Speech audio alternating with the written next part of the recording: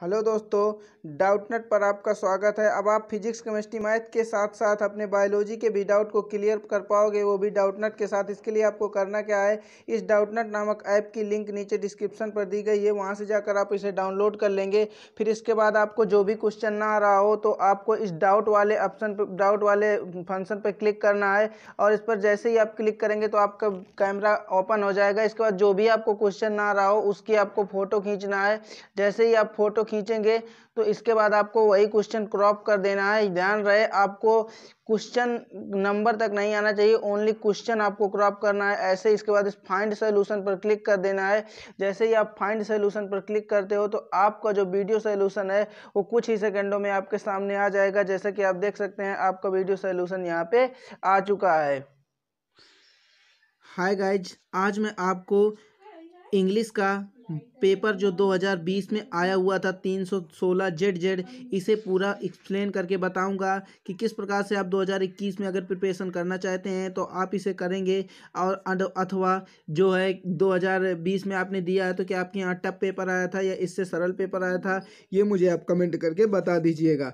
सबसे पहली बात मैं आपको बता दूँ कि अगर अभी तक आपने हमारे चैनल को सब्सक्राइब नहीं किया तो सब्सक्राइब कर लीजिए, क्योंकि आपको पता है, हम क्वालिटी वीडियो के साथ साथ एग्ज़ाम तक याद करने की ताकत भी आपके मन में लाते हैं। तो बस दोस्तों, इसी बात को स्टार्ट करते हुए मैं आपको एक बात बता देना चाहता हूँ। यहाँ पे आपको तीन घंटे का, पंद्रह मिनट का समय होता है, पूर्णांक आपका सा होता है, इसको आपकी कॉपी में बहुत अच्छे से फ्लिप करना होता है। इसके बाद यहाँ पे मैं एक बात क्लियर कर दूँ। यहाँ पे देखिए, लिखा हुआ है, फ़र्स्ट पंद्रह मिनट आर आर अलाउटेड मतलब कि ये allowed the candidate to read the question paper. मतलब ये कह रहा है कि पंद्रह मिनट जो आपको दिए जाते हैं, वो क्वेश्चन पेपर को पढ़ने के लिए दिए जाते हैं, ठीक है? इसके बाद यहाँ पे कुछ टर्म एंड कंडीशन दी गई हैं जिन्हें आपको बहुत अच्छे से रीड कर लेना है। अब मैं सीधे सीधे बात करता हूँ कि क्या आता है? तो सेक्शन ए में दोस्तों देखिए आता है explain with reference to the context any one following question तो एनी वन का मतलब है कि यहाँ पे दो दिए गए हैं, दो दिए गए हैं ए और बी तो इनमें से आपको किसी एक का रिफरेंस रिफरेंस का मतलब होता है संदर्भ, इसके बाद यहाँ पे कॉन्टेक्स मतलब प्रसंग और एक्सप्लानेशन मतलब व्याख्या। अगर आपने इस चैप्टर को पढ़ा हुआ है तो आपको पता चल जाएगा कि ये किस चैप्टर से लिया गया है। तो उसके लेखक अगर आपको पता है तो इसका आप क्या लिखेंगे? रेफरेंस लिखेंगे फिर कॉन्टेक्स इसी कॉन्टेक्स का मतलब होता है इसकी जो मेन बात हो, थोड़ी सी उसे लिख देना होता है। इसके बाद एक्सप्लानेशन मतलब इसकी व्याख्या करनी होती है हमें इंग्लिश में ही। तो इसके लिए हमें दो क्वेश्चन देखने को मिल जाते हैं, इसमें से आपको एक करना होता है। ठीक है?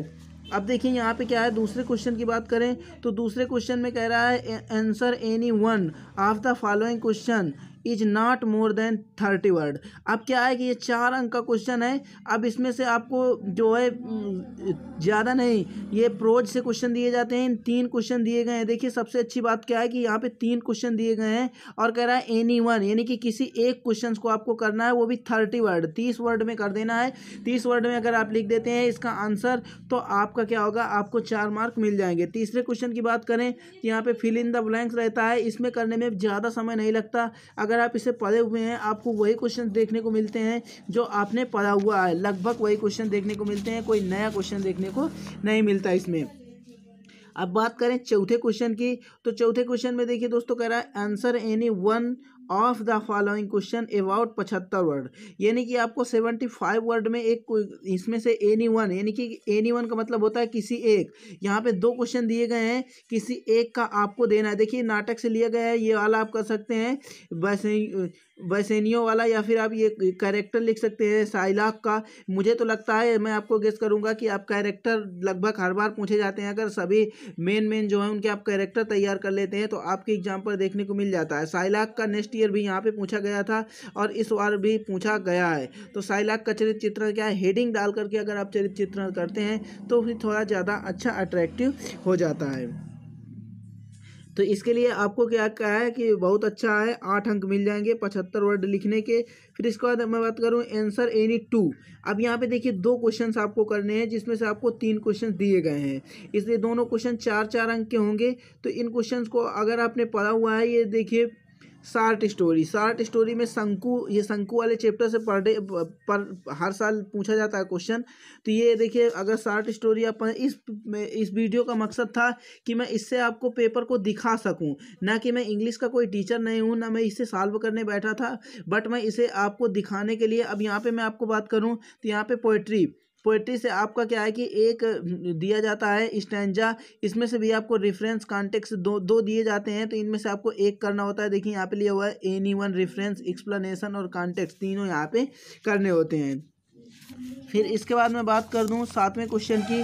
तो सातवें क्वेश्चन पे क्या होता है? आपको सेंट्रल आइडिया लिखना होता है। क्या लिखना होता है? सेंट्रल आइडिया लिखना होता है। इसके लिए यहाँ पे आपको किसी एक का सेंट्रल आइडिया लिखना होता है और यहाँ पे तीन तीन राइटर दिया तीन तीन चैप्टर दिए गए हैं। किसी एक का आपको लिख देना होता है जो आपको प्रिपेयर हो। इसके बाद यहाँ पे सात जो होते हैं, आपके ये होते हैं आगजी मोरन, ये तो इनमें से क्या है? आगजी मोरन एक्वास ट्रॉफी, ये जो आपके साथ होते हैं, सात के सातों में से आपको किसी एक की डेफिनीसन देखिए लिखा हुआ write the definition of any one following figure figure of speech जो होते हैं, आपके सात होते हैं, सात में से आपको कितने करने होते हैं? एनी वन, किसी एक को। अब यहाँ पे तीन दिए जाते हैं, एक को एग्ज़ाम्पल सहित करना होता है। देखिए लिखा हुआ है विद टू एग्ज़ाम्पल यहाँ पे दो एग्ज़ाम्पल देना है और इसकी एक डेफिनेशन देनी है।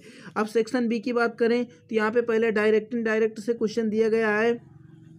यहाँ पे देख सकते हैं, लिखा गया है चेंज एनी वन यानी कि दो क्वेश्चन दिए गए हैं, इनमें से आपको किसी एक को इनडायरेक्ट में चेंज करना होता है, बहुत ही आसान होता है इसके बाद बी नंबर की बात करें हम, किसके, नवे के बी नंबर क्वेश्चन की तो इसमें किसी एनी वन यानी एक को आपको डायरेक्टेड विद इन ब्रैकेट यानी ब्रैकेट में जो दिया गया है, उसी तरह से आपको चेंज कर देना होता है किसी एक को। देखिए, यहाँ पे कह रहा है इनटू ए सिंपल सेंटेंस ये जो सेंटेंस है, इसको आपको सिंपल में बना देना है, या फिर इनटू ए कॉम्प्लेक्स सेंटेंस ये सेंटेंस को आपको कॉम्प्लेक्स में बना देना है। जो आपको आ रहा हो, उसी में से आपको एक को कर देना है। इसके बाद transform transform any one of the following sentences at direct within the bracket अब ये भी कह रहा है ब्रैकेट के अनुसार इनमें से किसी एक एनी वन यानी एक को कर दीजिए। तो यहाँ पे लिखा हुआ है वन कैन नॉट गेदर तो यहाँ पे क्या है, ये कह रहा है इनटू पैसिव वाइज अब इसको आप पैसिव में बना दीजिए या फिर ये जो क्वेश्चन दिया गया है, इसको आप सिंपल में बना दीजिए। इसके बाद ये कह रहा है correct any two of the following sentences तो इनमें से जो, ये जो सेंटेंस आपको दिए गए हैं तो इनमें से कुछ, जो सेंटेंस है वो गलत है। तो इनमें से दो सेंटेंस को आपको सही करना है। अब कहाँ का गलती है, ये आपको पकड़नी है। ये बहुत अच्छा क्वेश्चन होता है, ये आपको बाद में इंडिया एयरफोर्स नेवी में भी बहुत काम आती है तो ग्रामर आप पूरी तरह से मज़बूत रखें। अगर आप 2021 की प्रिपरेशन करना चाहते हैं तो मैं आपको सजेस्ट करूँगा कि आप ग्रामर का पोर्सन बहुत ही अच्छे से क्लियर रखें, क्योंकि ग्रामर जो है, अगर आ रही है तो फ़र्स्ट पेपर बहुत आसानी से आ जाता है। दसवें क्वेश्चन की बात करें तो यहाँ पे कह रहा है यूज़ एनी दसवां क्वेश्चन कह रहा है use any three of following idiom यहाँ पे ईडियम एंड फ्रेज दिए गए हैं तो यहाँ पे क्या कर रहा है एनी थ्री कह रहा है कि ये जो थ्री तीन ठो करने हैं आपको, और यहाँ पे पाँच ठो दिए गए हैं। तो तीन ठो आप करेंगे तो प्रत्येक एक एक मार्क का होगा और यहाँ पे तीन मार्क आपको दे दिए जाएँगे। अब बी नंबर में कह रहा है, दसवें के बी में कह रहा है, राइट एंटोनाइम। यहाँ पे आपको antonym of the following word, जितने भी यहाँ पे क्वेश्चन दिए गए हैं, अब यहाँ पे एनी वन, एनी टू नहीं बोल रहा तो यहाँ पे आपको तीनों के एंटोनाइम लिखना पड़ेगा। फिर यहाँ पे कह रहा है, write synonym of the following word, यानी कि जो नीचे वर्ड दिए गए हैं, इनके आपको साइनोनाइम देना है। इसके बाद कह रहा है सब्टीट्यूड वन वर्ड यहाँ पे दिया गया है one word for the following expression मतलब यहाँ पे देखिए दिए गए हैं तीन, अब यहाँ पे ये कह रहा है वन सब्टीट्यूड वन वर्ड यानी कि वन वर्ड यानी एक शब्द फॉर द फॉलोइंग एक्सप्लेनेशन यानी कि आपको इनमें से भी क्वेश्चंस को तो ये भी क्वेश्चन जो होता है, वो भी तीन मार्क का होता है। इसके बाद हम बात करें ई की तो इसमें दिया गया use the following word in sentence of your own तो as the worth out the difference in the dear meaning clearly मतलब कह रहा है, इनकी जो मीनिंग दी गई है गलत हैं, इनको आपको सही करना है। ठीक है, इसके बाद यहाँ पे क्या है, आपको एक पैसेज दिया जाता है, जिसको आपको इंग्लिश में ट्रांसलेट करना होता है। ये बड़ा पैसेज है, लेकिन बहुत ही अच्छा है। अब ये यहाँ पे क्या है इंग्लिश में दिया गया है गिव द अब देखिए यहाँ पे क्या है, अथवा में एक क्वेश्चन आपको दिया जाता है। देखिए पार्ट सेकंड है। इसमें क्या है, इसमें से आपको give the substance of the following poem in your own word in about eighty word eighty word ज़्यादा नहीं, आपको इस पोएम को एट्टी वर्ड में ही कन्वर्ट करना है। और देखिए, यहाँ पे चार मार्क इसके लिए आपको फिक्स कर दिए गए हैं। यहाँ पे आपको चार मार्क दिए जाएँगे।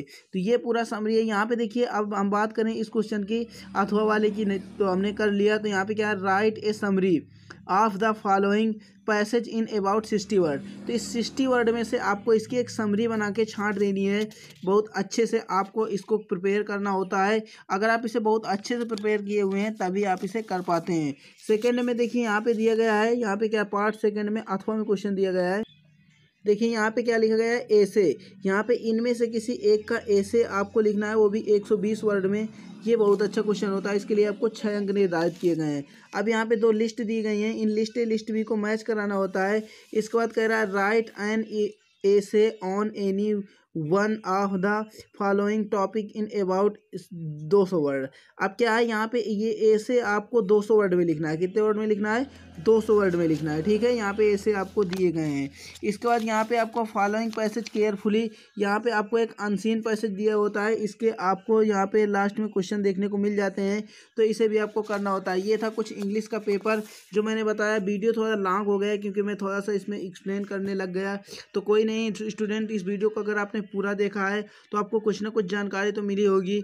मेरे चैनल पर एक इंग्लिश का मैं टीचर लेके आऊँगा। मैं बहुत सारे टीचरों के साथ यहाँ पे करने वाला हूँ तो आप हमारे चैनल को सब्सक्राइब ज़रूर